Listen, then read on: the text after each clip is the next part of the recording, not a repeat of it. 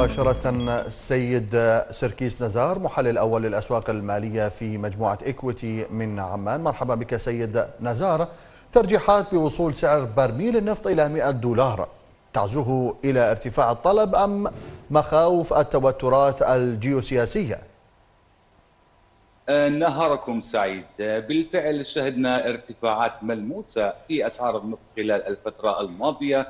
لتواصل أسعار الخام صعودها للأسبوع السابع على التوالي في قفزات سعرية متتالية. ولو نظرنا إلى الأسباب التي أدت إلى هذا الارتفاع فكما تفضلت كلا السببان هما.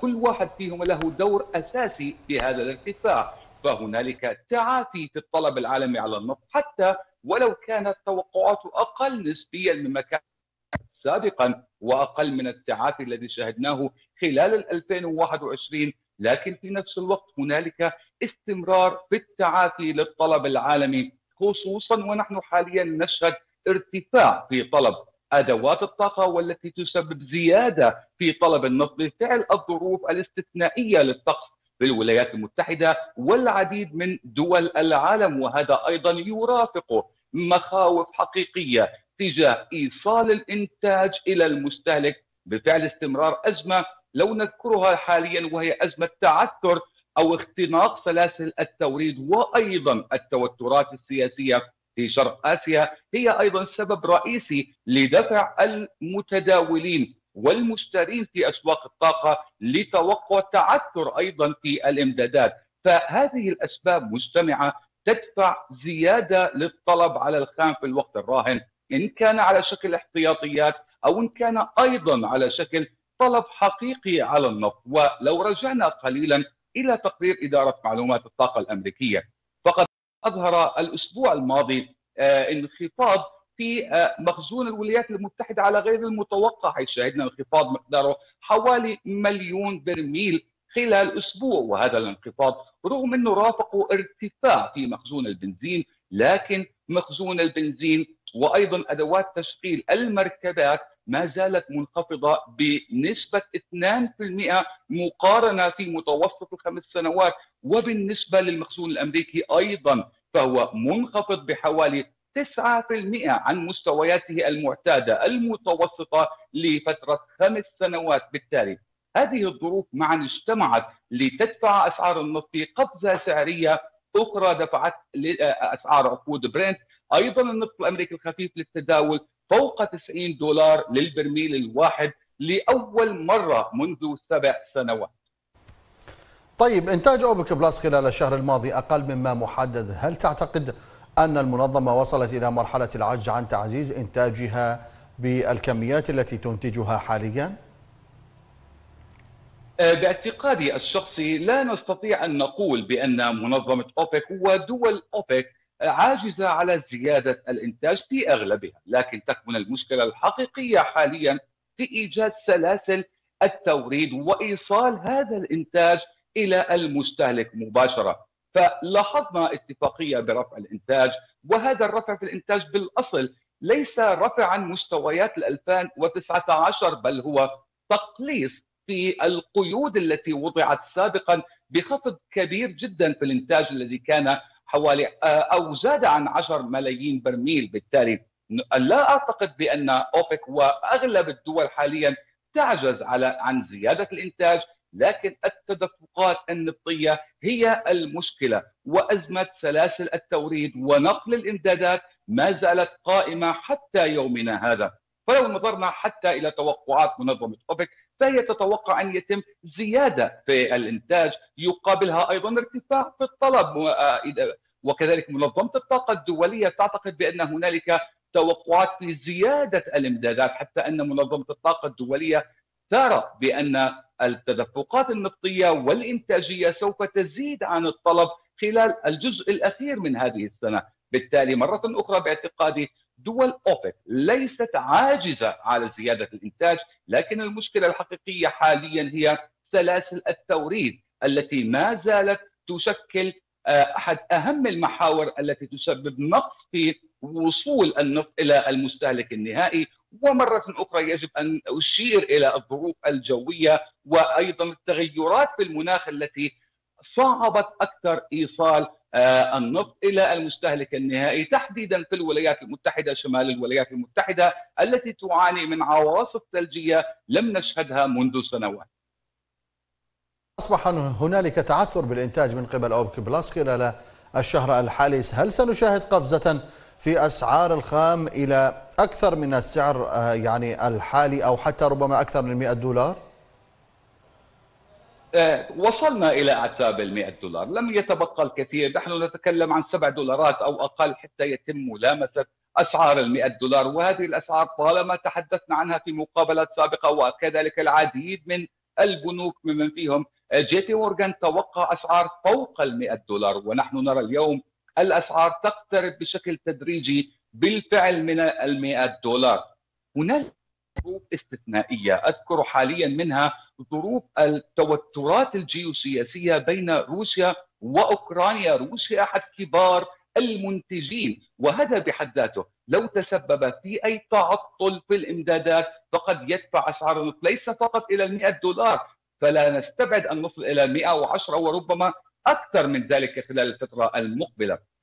فارتفاع أسعار النفط بالفعل مرجح خلال كان شهر فبراير الجاري أو حتى خلال بقية الربع الأول من هذه السنة رغم اعتقادي بأن هنالك تصحيحات سعريه هابطة سوف تحصل لاحقا على مدى هذه السنة تحديدا خلال النصف الثاني. طبعا في حال استمر ارتفاع الإنتاج حتى ولو بشكل تدريجي حتى ولو بشكل متعثر لكن في نفس الوقت على الربع الأول الجاري من هذه السنة المزيد من الارتفاع في أسعار النفط المرجع ومستويات ال 100 دولار أصبحت قريبة جدا. والآن نحن نتكلم عن مستويات أعلى عن 100 دولار للبرميل الواحد من النفط. طيب ماذا عن المستهلكين؟ يعني أسعار البنزين الأمريكية ترتفع لأعلى مستوى منذ عام 2014 مع صعود النفط أيضا ووجود خطة للسحب من الاستراتيجي خصوصا في الولايات المتحدة وأيضا بعض الدول الأخرى المستهلكة للنفط. يعني كيف سيتعامل المستهلكين مع هذه الارتفاعات الكبيرة وأيضا الاضطرابات التي دعت أسعار النفط إلى الارتفاع؟ أود أن أبدأ حديثي الآن في تعبيري عن توقعات مستقبلية في المزيد من المعاناة بالنسبة للمستهلكين عندما ننظر إلى الأسعار وتوقعات ارتفاع الأسعار بفعل ارتفاع التضخم والذي يرتبط جزء كبير منه بارتفاع أسعار الطاقة. المستهلك قد يكون هو المتضرر الأكبر خلال الفترة المقبلة من ارتفاع أسعار النفط، فالارتفاع متوقع استمرار أسعار البنزين على سبيل المثال التي ارتفعت كما أشرت حضرتك إلى مستويات هي الأعلى منذ عام 2014 من المتوقع أيضا أن تبقى ضمن مستويات مرتفعة جدا آخذين بعين الاعتبار بأن التعافي الاقتصادي العالمي سيستمر لكن هذا الاستمرار في التعافي الاقتصادي سوف يكون على الأرجح أبطأ مما شهدنا خلال الربع الأخير من عام 2020 وكذلك طوال عام 2021 بل بالفعل بدأت العديد من الدول منها الصين التي تعتبر ثاني أكبر مستهلك للطاقة عالميا. بدأنا نلاحظ تراجع في النمو الاقتصادي. ماذا يعني تراجع في النمو الاقتصادي؟ هذا سينعكس على الأرجح على المستهلكين وبالتالي قد تزيد معاناة المستهلكين بالنسبة لارتفاع أسعار النفط. لكن هنا أود النظر إلى موضوع الطلب والعرض. استمرار ارتفاع أسعار النفط. يقابله أيضا آه، توقعات استمرار ارتفاع أسعار البنزين والعديد أيضا من أدوات الطاقة. كل ذلك قد يتسبب في انخفاض القدرة الشرائية للمستهلكين وقد ينعكس ذلك على شكل بعض الانخفاض في وتيرة التعافي في طلب النفط. ماذا يعني ذلك؟ ارتفاع الأسعار قد يجبر المستهلكين على تقليص الاستهلاك. وهذا أعتقد ما سوف نبدأ آه، في رؤيته خلال النصف الثاني بالفعل من هذه السنة. وأشرت قبل قليل بأن هنالك توقعات بعودة الانخفاض في أسعار النفط لكن ليس الآن خلال الربع الأول تحديدا لكن خلال الجزء الأخير من هذه السنة قد يكون أحد أهم أسبابه هو الارتفاع الكبير في الأسعار والذي قد يتسبب في تغيرات في العادات الاستهلاكية وانخفاض في القدرة الشرائية المتعلقة في أدوات الطاقة. طيب مع تزايد حالة القلق حيال الضغوط التضخمية برأيك ما هي التوقعات لحركة الذهب خلال الفترة القادمة؟ آه، بانتقالنا من تحركات أسعار النفط إلى أسعار الذهب يجب أن أشير مرة أخرى وأؤكد بأن هنالك علاقة طردية واضحة ما بين الارتفاعات الكبيرة بأسعار النفط ومعدلات التضخم في أغلب الدول في العالم. وشهدنا فعليا ارتفاع معدل التضخم في الولايات المتحدة إلى أعلى مستوياته منذ أكثر من 40 عاما ووصل 7% في أوروبا نتحدث عن تضخم فوق 5% وكذلك في بريطانيا ارتفاع التضخم يعني انخفاض القدرة الشرائية للنقد. الذهب يرتبط بمعامل ارتباط إيجابي بالتضخم. لكن في أي نوع من أنواع التضخم؟ الذهب يرتبط مع توقعات التضخم المستقبلية وليس التوقعات الحالية. هنالك مع ارتفاع أسعار النفط أصبحت توقعات بأن نشهد المزيد من الارتفاع في معدلات التضخم. وبما أننا نتحدث عن توقعات بمزيد من الارتفاع في التضخم اذا على الأرجح قد يشهد الذهب مزيدا من الطلب الشرائي لتغطية مخاطر التضخم والتي تكون في العادة على شكل انخفاض في القدرة الشرائية للنقد. فما نشتريه اليوم ب 100 دولار؟ على الأرجح سنحتاج إلى 107 أو 110 دولارات العام المقبل لنشتري نفس السلعة وهذا هو تفسير الانخفاض القدرة الشرائية للنقد. بالتالي قد تشهد أسعار الذهب طلب إيجابي لترتفع لكن هنا يجب أن أشير لموضوع مهم جدا وهو سياسات البنوك المركزية في الدول العظمى في الوقت الراهن.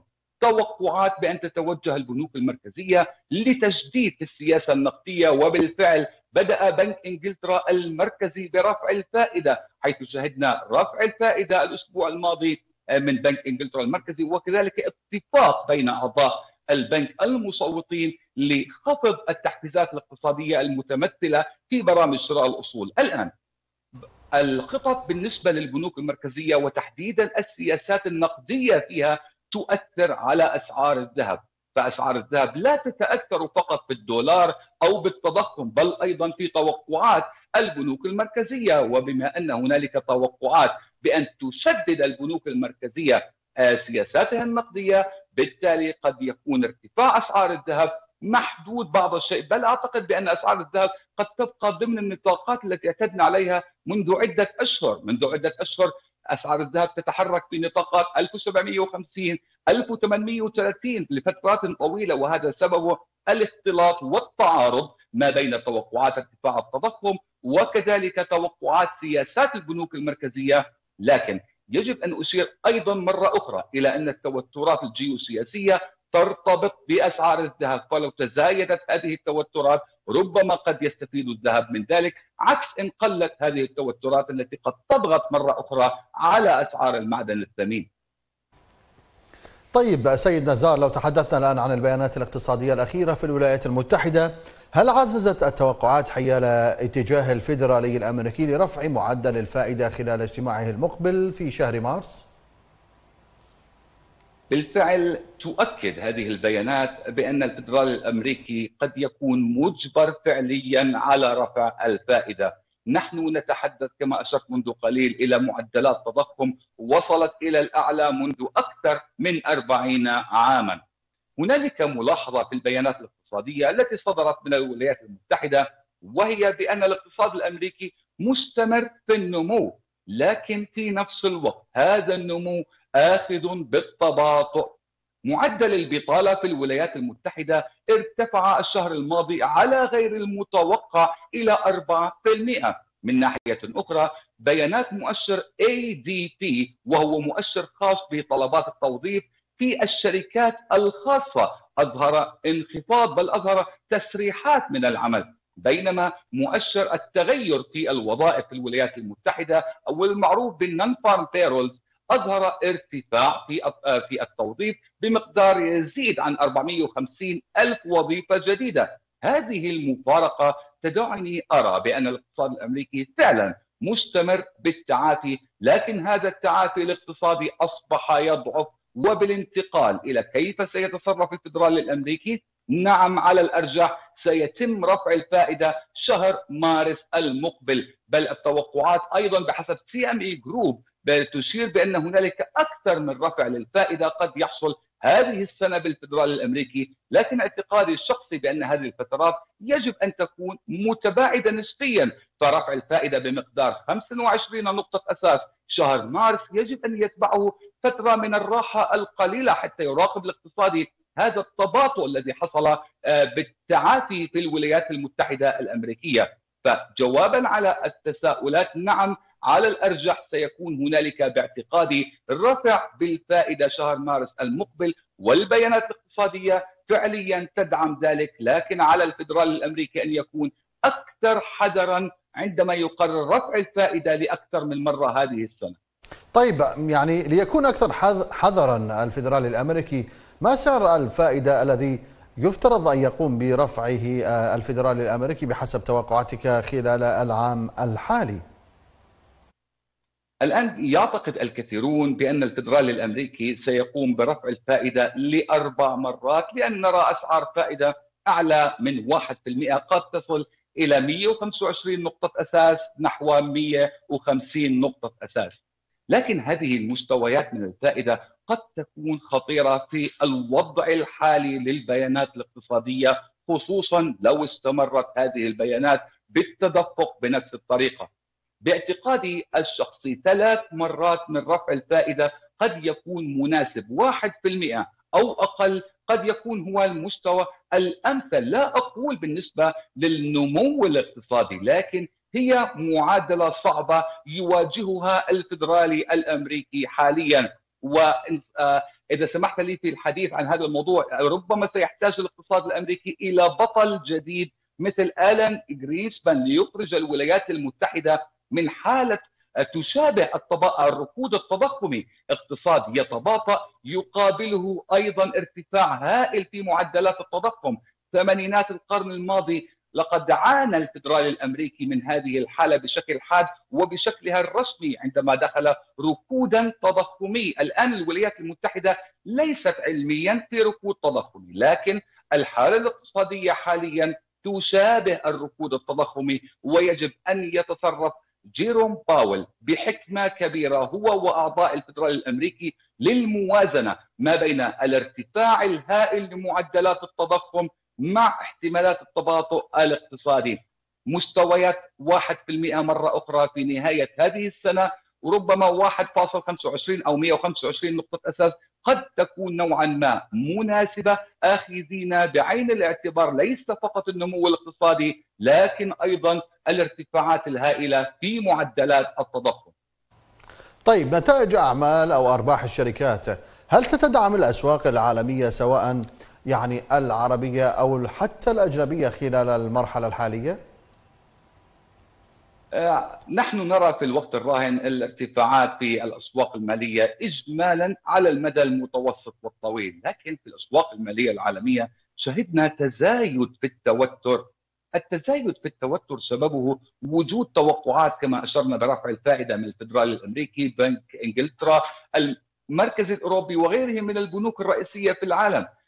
هذه تضغط على أسواق الأسهم، لكن في نفس الوقت المتداولون يرون البيانات التي تصدر من الشركات والتي تظهر العديد منها بأنها تبدو إيجابية والآن بالنظر إلى توقعات الشركات لهذه السنة هنا تكمن التوقعات بالنسبة لأسواق الأسهم أو مؤشرات الأسهم إن كان في دولنا العربية أو أيضا في العالم أجمع. الآن سيتابع المتداولون ليس بيانات الربع الرابع الماضي، فنحن على نعلم تقريبا كيف كان الربع الرابع الماضي وبشكل عام أستطيع أن أقول إنه كان جيد نوعا ما بالنسبة للشركات. لكن الآن ستبدأ المراقبة لنتائج الربع الأول. يعني سنحتاج عدة أشهر لتبدأ هذه البيانات البيانات من الشركات في الصدور. بالتالي أسواق الأسهم قد تبقى الآن في حالة من التوتر. لكن مرة أخرى على المدى المتوسط والطويل أمامنا محاولة أخرى للارتفاع أمامنا على الأرجح أن نشهد امتداد في الموجات الصاعدة لكن بعد انتهائنا من الربع الأول هنا يجب أن نبدأ في مراقبة كبرى الشركات العالمية وأيضا الشركات المؤثرة على مؤشرات الأسهم الرئيسية في دولنا العربية لأن الربع الثاني من هذه السنة عندما تبدأ بيانات الربع الأول حينها بالصدور ربما هنا قد يبدأ المتداولون في اتخاذ حسابات جديدة خصوصا عندما يكون قد بدأ الفدرالي بالفعل برفع الفائدة وعندما يرفع الفدرالي الأمريكي الفائدة العديد من الدول العربية تقوم بالمثل برفع الفائدة عديد من الدول حول العالم تتشجع أكثر آه، أتكلم عن دول ناشئة على سبيل المثال تتشجع أكثر لرفع الفائدة مما قد يجعلنا بحاجة لبيانات الشركات ونتائج أعمال أفضل مما شهدنا من الربع الأول حتى تستمر بالارتفاع. وباعتقادي الربع الثاني أو الربع الأول الجاري قد لا يكون إيجابي كما شهدنا في الربع الرابع الماضي بالنسبة لكبرى الشركات إن كانت محليا أو اقليميا أو عالميا. طيب سيد نزار كيف تحلل حركة الدولار خلال الفترة الماضية وما هي توقعاتك للأيام القادمة؟ بداية آه، ارتفع الدولار بقوة مقابل سلة العملات الرئيسية وارتكز الارتفاع على آه، أمام اليورو والين الياباني وبعض العملات الأخرى هذا الارتفاع الكبير بالدولار الأمريكي سببه الاعتقاد بأن الفدرال الأمريكي قد يسبق العديد من البنوك المركزية الأخرى باتخاذ خطوات التجديد النقدي. وهذا ما حصل فعليا. شهدنا اليورو ينخفض بشكل قوي لمستويات ما دون دولار و12 سنتا وربما ما آه، دولار و11 سنت. الجنيه الاسترليني أيضا انخفض بقوة.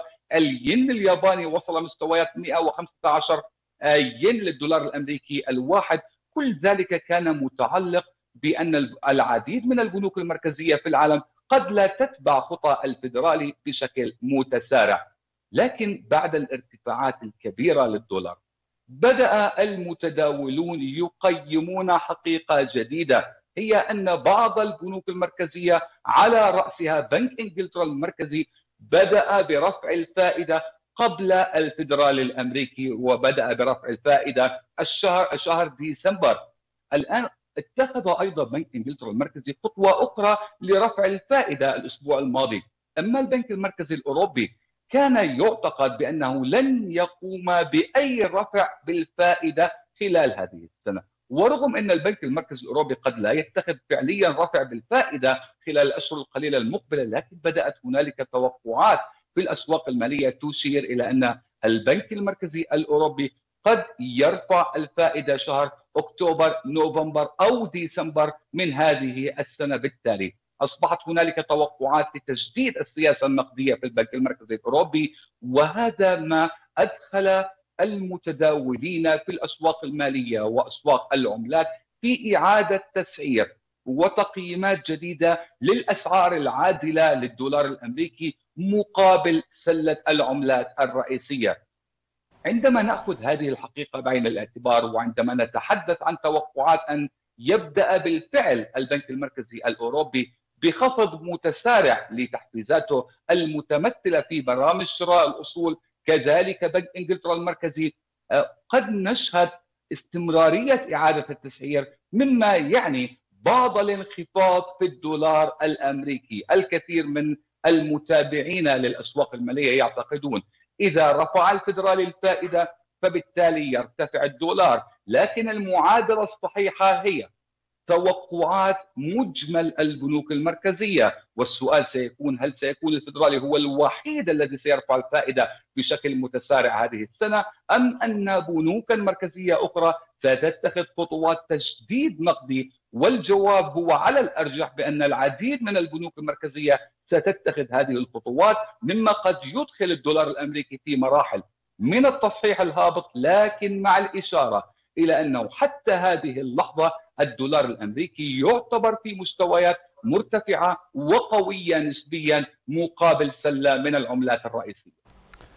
أشكرك جزيل الشكر السيد سركيس نزار محلل الأول للأسواق المالية في مجموعة إكويتي من عمان على كل هذه الإجابات والإيضاحات شكرا لك